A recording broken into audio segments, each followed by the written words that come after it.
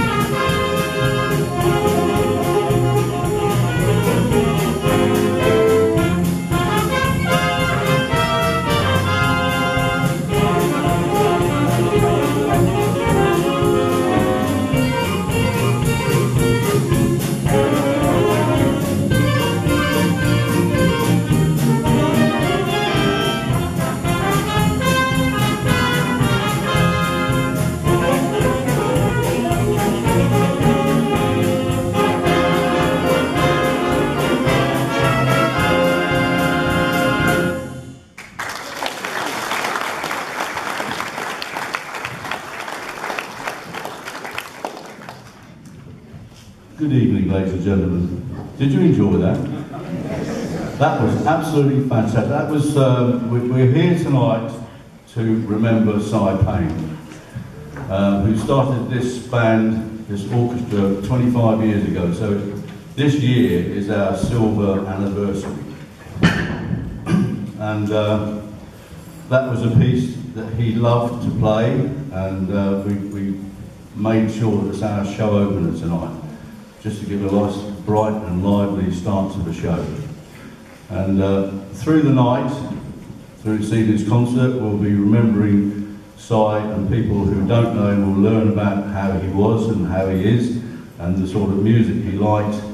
He arranged for the band, he actually composed pieces for members of the band, and so there will be a few solos being played tonight by those people. And uh, the next thing I shall do is to move on to the next piece. Uh, if I was a decent director, I would have the next piece up already. but unfortunately, anyway, I'm ready now, what we're going to do is play a lovely tune. This will be played by the clarinet player Claire there. She's going to play the clarinet solo, and this is with thoughts of uh, Cy. It's called Memories of You.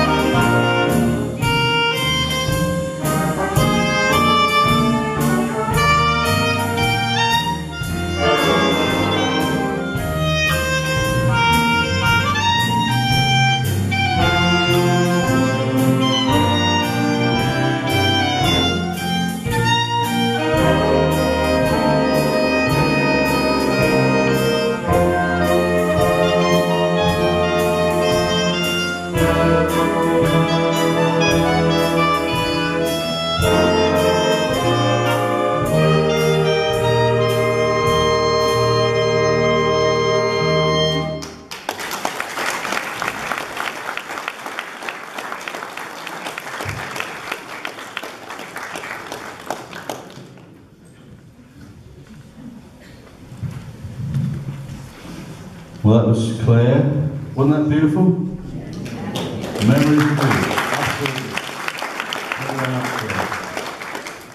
Uh, now we introduce a person to the stage, and um, I'm very privileged to know this person. Uh, it's my wife. I thought that would give you a laugh. Yeah. Uh, my, Glynis is now going to come and sing a song, a beautiful song, You'll Never Know.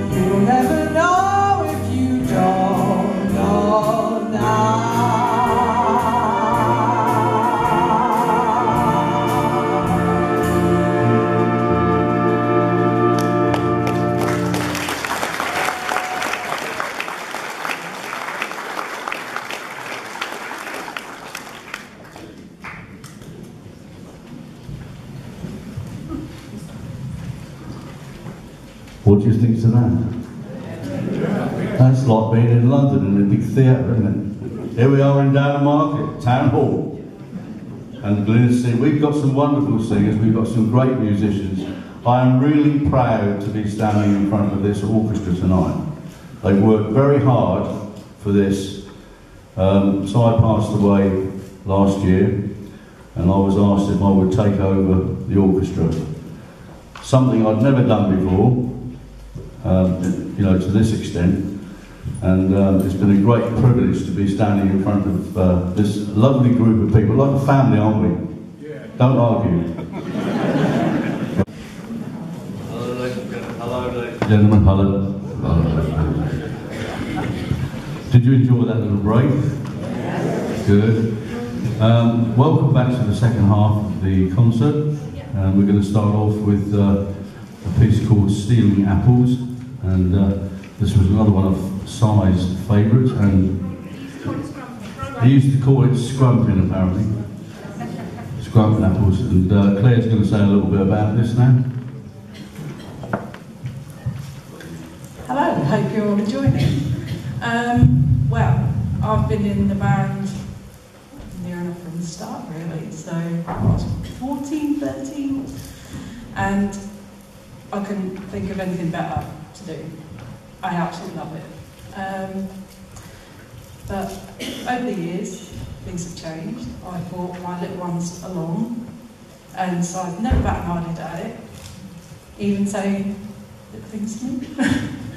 um, one of them being, there's four things you need to tell your boys when they're growing up. They know where it's going. it's going to be not enough, too much, too soon, or too late. kind of sums Cy up. Anyway, this one is stealing apples, but I don't normally play it. I'm just keeping it warm. Our normal player, Jenny, decided to break her foot. and she's now sporting a lovely boot. So I'm just keeping it warm for you, Jenny, so when you're feeling better, you can come have it back.